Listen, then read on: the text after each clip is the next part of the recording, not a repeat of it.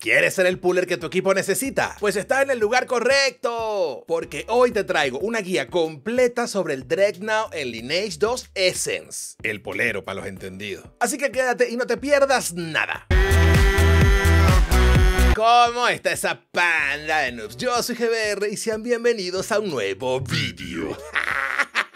Cansado de morirte una y otra vez cuando haces a hoy. Aún siendo un manco, ¿cierto? Tranquilo, que ya llegué yo para ayudarte. Y sé que había estado un poco perdido e incluso escribí un guion echándole la culpa a mis canas, pero me las pinté. Y tuve unos problemitas de salud que me dejaron hecho mierda.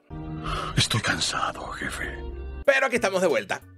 Para los que no saben, estoy haciendo streams diarios. Siempre lo anuncio en el Discord de la Panda de Noobs. Si no estás allí, no te vas a enterar. ¿Qué hago en esos directos? Aparte de demostrar que soy el rey de los noobs, también hago revisiones de cuentas. Te mejoro el personaje. Pero cuando digo te lo mejoro, no es que voy a agarrar y voy a pasarle 16 dígitos y te lo voy a pullar. No. O sea, te voy a decir qué estás haciendo mal, que puedes hacer mejor y otras cositas que te van a dejar el personaje seguramente bastante más chulo y más jugable. ¿Cómo te hago la revisión? Coño, pídemelo. Estoy en stream y me ves, pídemelo. Te metes en el Discord, me pide. Me lo pones en los comentarios. GBR, quiero una revisión y lo cuadramos. Pero no me escribas directo. No me escribas por Instagram. No me jodas la vida fuera del canal.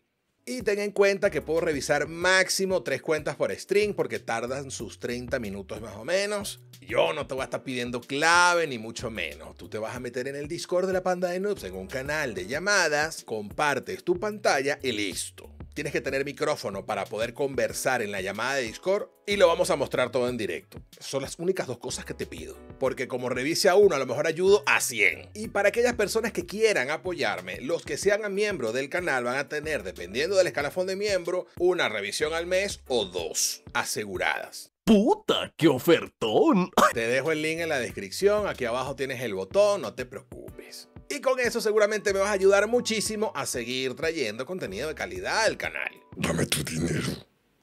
Ahora sí, estos son los tópicos de los que vamos a hablar y como siempre los voy a dejar divididos por capítulos para que puedas avanzar entre ellos y perderte todo el contenido que dejo oculto para ti.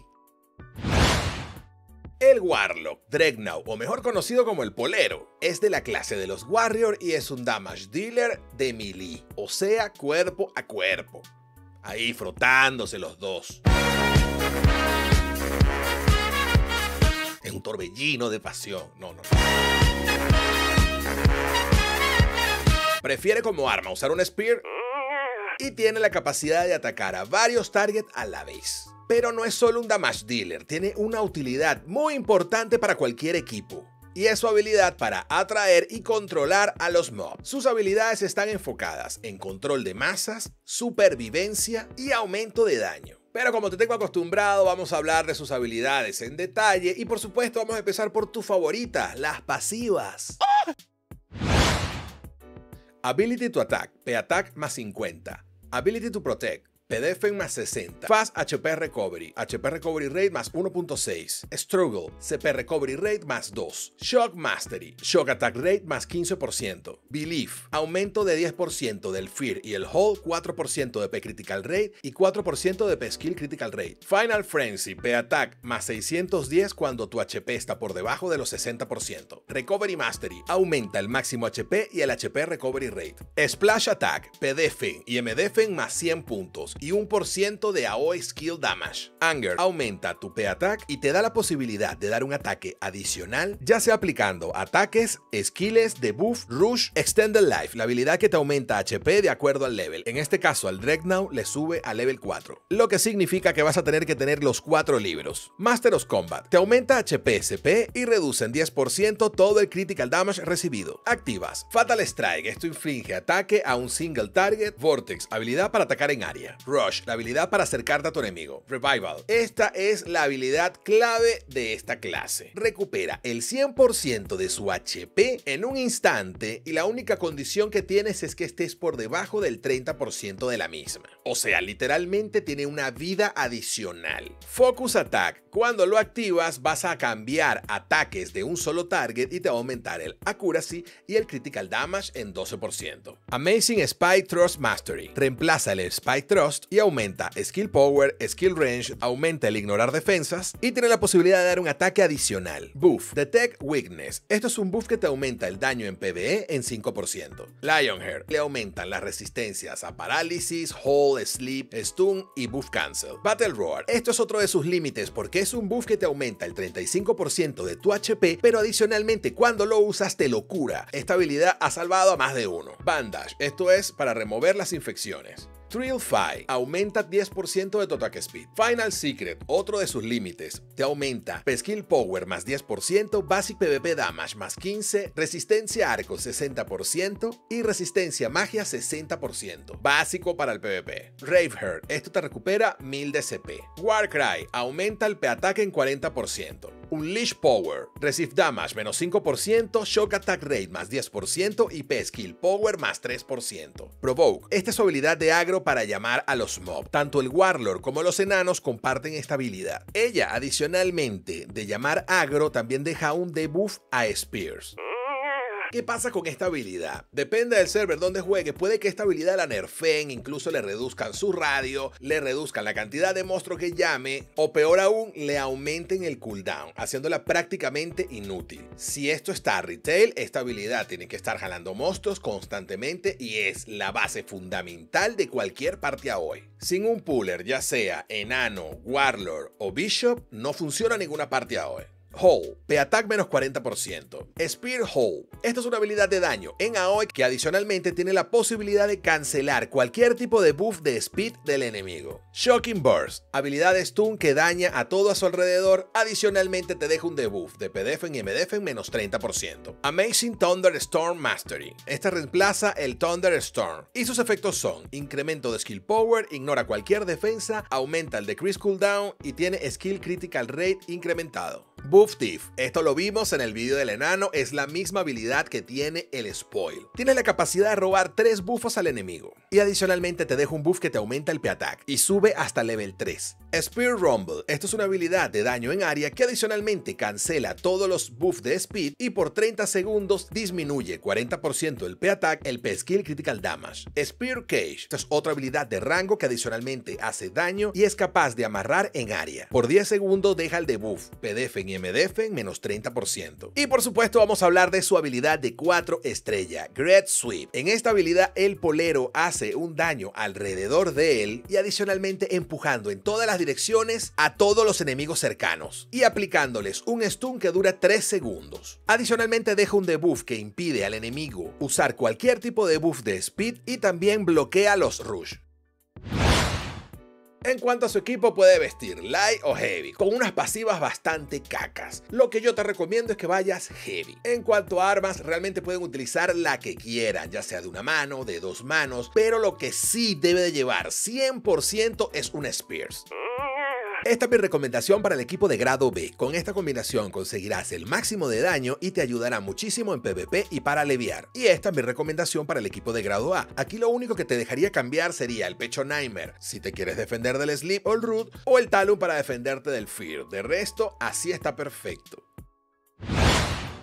Aquí te dejo mi recomendación para los DAI. Sé que te verás tentado a subirte el con o el dex, pero ya lo probé y no sirve. Lo mejor es full STR y ya en late, uno de STR, uno de con y uno de dex. Y recuerda que si quieres mi guía de los DAIs, tienes que dejar la palabra DAI en el video del Gran Kabatari. Aquí no, en el video del Gran Kabatari, te lo dejo ahí. Si llegamos a 100 comentarios, lo haré.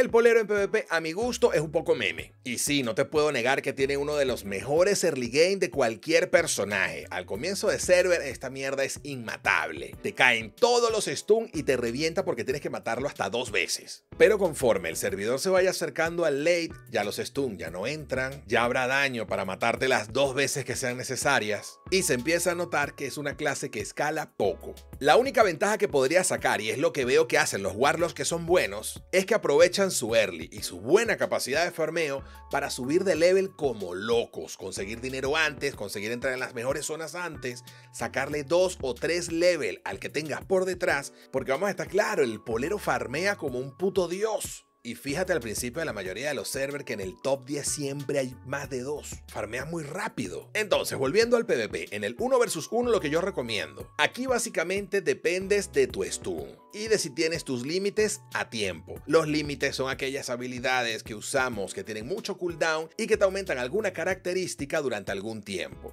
Que las usamos en PvP para bustearnos y darle el al enemigo. Y esta clase tiene muchos. El Revival, el más importante de ellos. Porque si lo tienes en el 1 versus 1, seguramente ganes porque te tienen que matar dos veces. Así sea por desgaste, lo vas a matar. Yo lo que te aconsejo es aprender a usar el revival a tiempo. Úsalo cuando tengas muy poca vida, controla esos últimos 5-10% de HP. Y allí es cuando la tienes que usar para que la cantidad de HP que te tengan que bajar sea aún mayor. Yo te recomiendo también jugar un poco con los CC, aplícale un stun o róbale buff antes de tirarla para asegurar que no te la van a cancelar. Suena fácil, pero no lo es, es práctica. Controla mucho el kaiteo. Si el enemigo es mucho más fuerte que tú, intenta amarrarlo, estunearlo, aléjate, cúrate, rodéate de monstruos débiles que hace haciendo daño en AOE, te curas con el Vampiri. Utiliza todos esos factores. Ese tipo de cosas van a determinar si ganas o no el 1 versus 1. Por supuesto, estamos hablando de igualdad de condiciones. Aquí decidí unir los grupales de party y asedios porque prácticamente tu trabajo es el mismo. Tu misión es ser la frontline que irá al choque contra la frontline enemiga. Intentarás aplicar la mayor cantidad de CC, la mayor cantidad de daño y te vas a morir. Eres del escuadrón suicida, eres carne de cañón. Es fácil, entra, haces lo tuyo y te mueres. Donde puedes brillar mucho más es en el control de spawn, esas zonas de PvP donde todas las personas caen en el mismo punto de teleport, ahí tú tienes que estar con tus compañeros que hagan AOE tirando skills en automático incluso, para que cuando caigan los enemigos no les dé tiempo de reacción y ya puedas estar aplicando daño, estar aplicando stun y en muchos de los casos la persona ni siquiera va a ver la pantalla cuando ya lo mataste. Si quieres mi opinión, a mí esta clase no me gusta. ¿Qué? Seguro por la rivalidad con el enano, no lo sé. No es mala, pero su late game es pasarla muy mal. Tienes que estar muy pullado, donado, mamadísimo para que el personaje se mantenga a nivel de los otros. Es muy complicado. Aún así, es mi opinión. He visto poleros increíbles, pero en las manos correctas. Recuerda que todos los personajes que hacen AOE, sobre todo los de lanzas, son muy difíciles de jugar, son muy fáciles de matar. Tiene una dificultad mucho mayor. Yo nunca le voy a recomendar a un noob hacerse una clase de estas.